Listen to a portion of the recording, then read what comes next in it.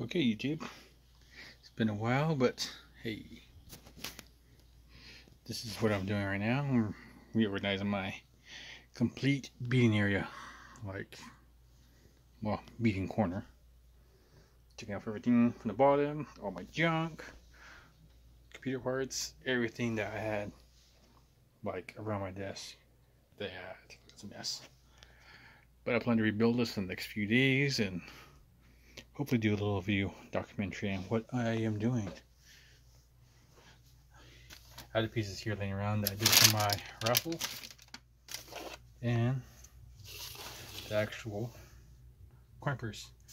I'll do a little video on how I made this, constructed it, and the video of how it all went together, or pictures of basically how it went together. But I have things in the workings that I'm currently working on or have saved up. You know, just because I like messing with a lot of stuff at the same same time and keep things hidden from people. When I'm saying I'm not doing something, I'm always doing something.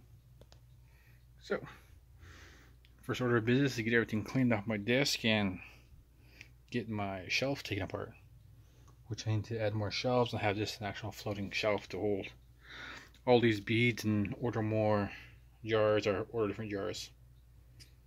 So, new jars, no jam jars.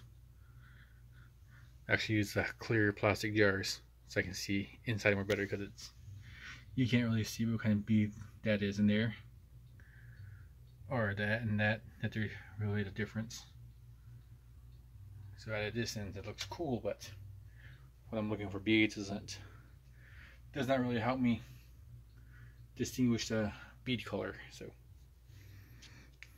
new jars and all that. So all you guys I appreciate you. Thank you. Like subscribe. I'll see you on the next update